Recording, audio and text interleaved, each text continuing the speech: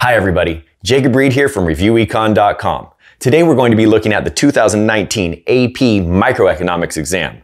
This one is from set number one and it's question number two. Don't forget to like and subscribe. Let's get into the content. Are you ready? Now this question is all based on this table we've got here and it shows the marginal benefit that Dana received by consuming additional units of water and additional units of good X. We see in these numbers here diminishing marginal utility. The law of diminishing marginal utility tells us that the additional satisfaction or benefit, also called utility, that comes with consuming more of a good decreases with each additional unit.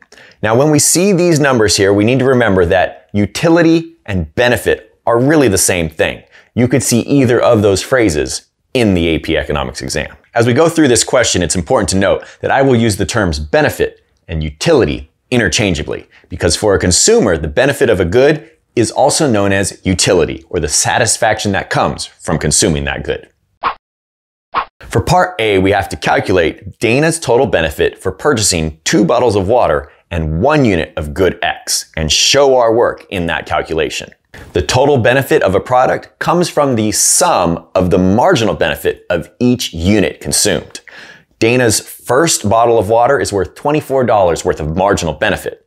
The second bottle of water is worth $18 worth of marginal benefit. So let's go ahead and put those there. But then we have to add in the marginal benefit of the first unit of good X. That's $24 worth of marginal benefit.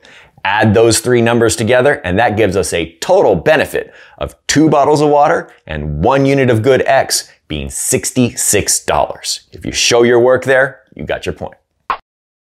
For part B, we have a new assumption that's added to this question. The price of good X is $5, and we're going to calculate the consumer surplus Dana receives if she purchases three units of good X. And again, we have to show our work.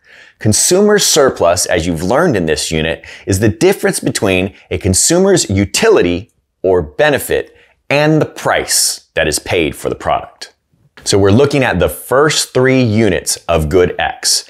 There we have our marginal benefit of each of those units. Add them together and that gives us $54 worth of total benefit for those three units. So we're going to take the $54 of total benefit that Dana receives for the first three units of good X and subtract the $15 paid for those three units. That gives us a consumer surplus of $39. Again, show your work to get this point.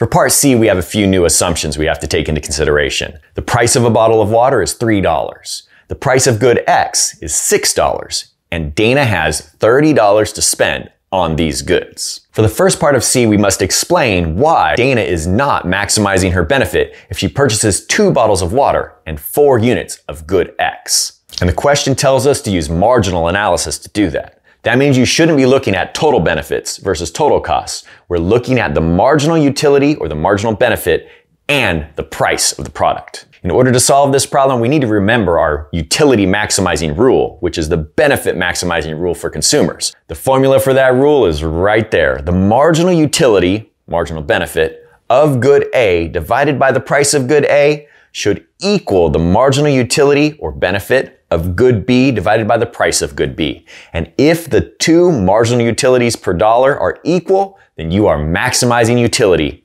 as a consumer. To see why Dana is not currently maximizing her benefit, we take the $18 of marginal benefit she receives for the second bottle of water and divide it by the $3 that unit costs. That gives us six marginal utils per dollar spent. That fourth unit of good X, on the other hand, has a marginal benefit of only $6. Divided by the price, and that gives us just $1 worth of marginal utility per dollar spent. And so the answer to the first portion of C is that Dana is not benefit maximizing because $6 worth of marginal benefit per dollar is greater than $1 worth of marginal benefit per dollar. Have that inequality there, and you've got yourself a point.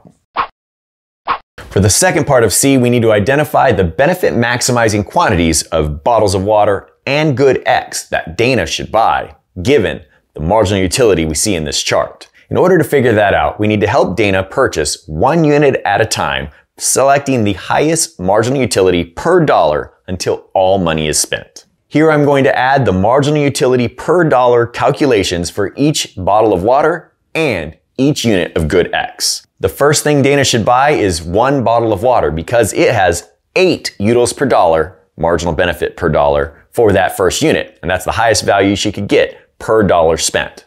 The second thing she should buy is another bottle of water because it has 6 marginal utils per dollar, and that is the next highest value we see on that chart. For the next unit, we've got a tie, but luckily she can afford both of them. 4 utils per dollar for a bottle of water and her first unit of good X. The next thing she should buy is another unit of good X because that is 3 utils per dollar. Now Dana has just $9 left to spend and she should spend it on her next bottle of water at 2 marginal utils per dollar and another unit of good X at again 2 marginal utils per dollar. In the end, that tells us that Dana's benefit maximizing combination of bottles of water and units of good X is 4 bottles of water and 3 units of good X. Now on to the last and most difficult part of this question. We are now told that the price of good X falls down to $3. Now it's the same price as a bottle of water.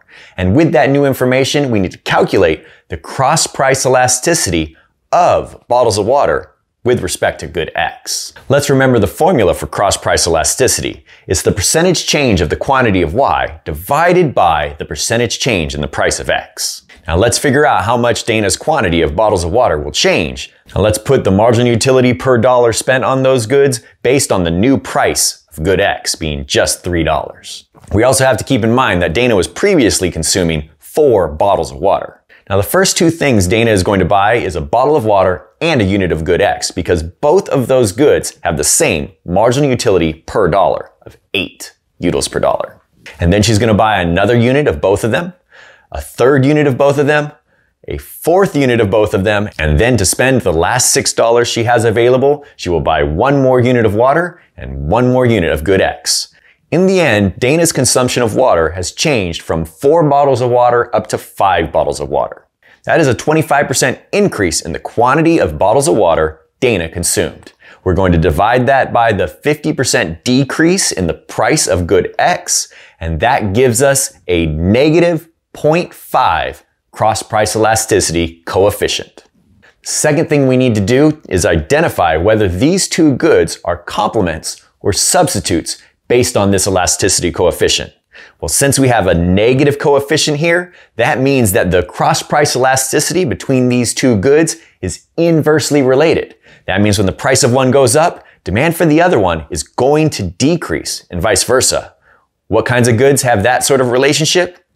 Complements. So as soon as you've calculated this coefficient properly, identify these goods as complements and you've got your last point. And there you have it. If you got all of that right, you are definitely on your way to acing your next economics exam. If you want to support this channel, make sure you like and subscribe below. Then head over to reviewecon.com where there are lots of review activities and games to help you practice the skills you've been learning in economics. If you want to support this channel even more, make sure you head over to reviewecon.com and purchase the total review packet with everything you need to know for the AP, microeconomics, and macroeconomics exams. Thank you. I'll see you next time.